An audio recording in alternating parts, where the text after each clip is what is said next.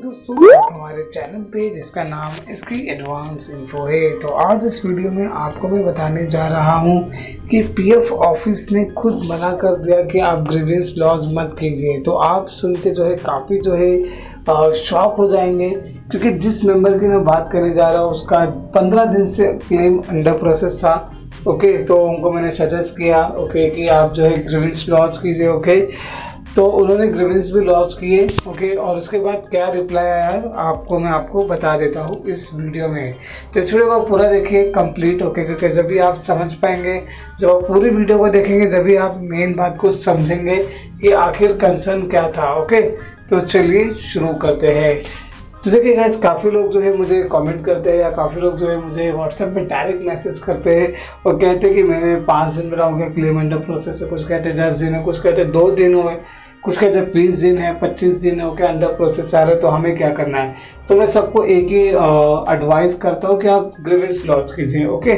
ये मैं आपको एज इन बता देता हूँ ओके बट इसमें क्या होता है काफ़ी लोग जो है मुझे फिर आ, कहते हैं कि देखिए हमें ये रिप्लाई आया तो मैं आपको दिखाता हूँ ऐसे बहुत से रिप्लाई आते हैं ओके यहाँ पे क्या लिखा है कि हम आपका क्लेम सेटल करेंगे पहले ही पहले मतलब जैसे आएगा क्लेम वैसे हम आपका सेटल करेंगे। जैसे आप एक क्लेम अप्लाई करते हैं तो एक क्यू में जाता है ओके जैसे आपकी बारी आती है, जैसे दस क्लेम हटा तो हो सकता है ग्यारहवा नंबर आपका जो ग्यारहवा नंबर उनके सामने आएगा तो फिर उसको ओपन करेंगे, देखेंगे तो वैसा सेटल करेंगे। बट यहाँ क्या लिखा है कि हम आपको अपील करते हैं कि आप वेट कीजिए जब तक आपका टर्न ना आए। मतलब जब तक आपका टाइम नहीं आएगा, जैसे हो सकता है आपका क्लेम अप्लाई करे, उससे पहले दस लोग और अप्लाई किए थे, उस ऑफिसर के पास है तो आपका क्लेम ग्यारहवें नंबर पे गया। अब वो दस जब क्लियर होगा तो जब आपका आगा नंबर आएगा, जैसे आप एक डॉक्टर के पास जाकर अपॉइंटमेंट लेते हैं तो जैसे वो अपॉइंटमेंट होता है, उसके बाद आपका नंबर आता है तो फिर आप जाते वैसे क्लेम में भी आप इतना समझ लीजिए। बट अब क्या लिखे बी एफ़ ऑफ़िस में आगे आप एकदम शॉक हो जाओगे। यहाँ पे लिखे है कि आप ग्रीवेंस अननेसेसरी मत रेज कीजिए। इतना बड़ा वर्ड हो गया अननेसेसरी मत रेज कीजिए। तो ये किन के लिए अप्लाई होता है, वो भी हमें समझना होगा पहले।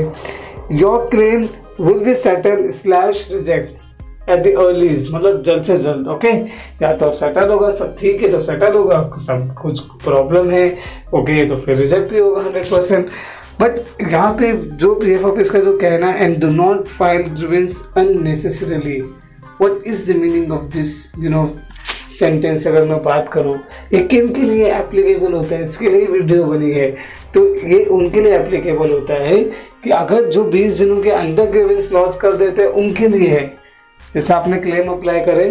अब 20 दिन में बहुत बड़ा जो है समय बट एक टैग है टर्न अराउंड टाइम है ओके जैसे हर एक रिक्वेस्ट पे एक टैग दिया जाता है ओके तो वैसे इस पर भी है। लेकिन इससे पहले हो जाता है mostly okay thirty percent forty percent cases में हो जाता है। Before twenty working days claim settle हो जाता है ट्वेंटी डेज़ ओके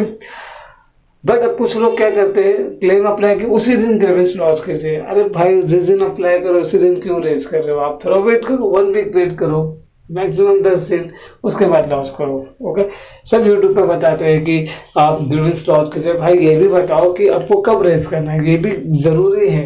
क्योंकि इस वजह से पी एफ़ ऑफ़िस का बर्डन बढ़ रहा है। फिर आपको ऐसा रिप्लाई आता है तो आप बोलते हैं कि ये क्या जवाब आ गया है? तो समझिए, कोशिश कीजिए ग्रीवेंस जब लॉन्च कीजिए जब आप वेट कीजिए एक हफ़्ता डेढ़ हफ़्ता दो हफ़्ता नहीं सेटल हो जाए देन लॉन्च कीजिए it doesn't mean claim of like grievance launch कीजिए हो जाएगा सेटल नो रियलिटी बता रहा हूँ मैं ओके तो वीडियो को लाइक कीजिए शेयर कीजिए कंसल्टिंग चाहिए तो आप हमें व्हाट्सअप कर सकते हैं पेड कंसल्टिंग है।